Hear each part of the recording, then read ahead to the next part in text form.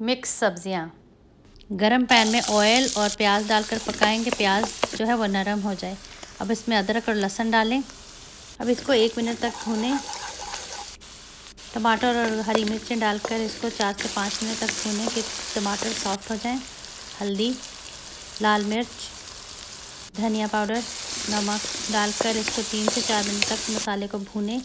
मसाले को भूनने के टाइम पर थोड़ा थोड़ा पानी डालें और इसको भूनें। इसको इतना भुने कि तेल जो है वो सेपरेट हो जाए।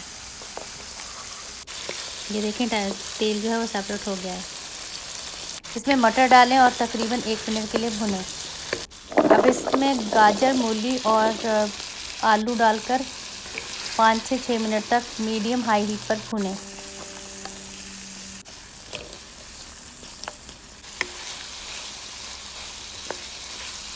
अब इसको पाँच मिनट के लिए कवर करके पकाएँ। पाँच मिनट के बाद इसको अच्छी तरह से मिक्स करें।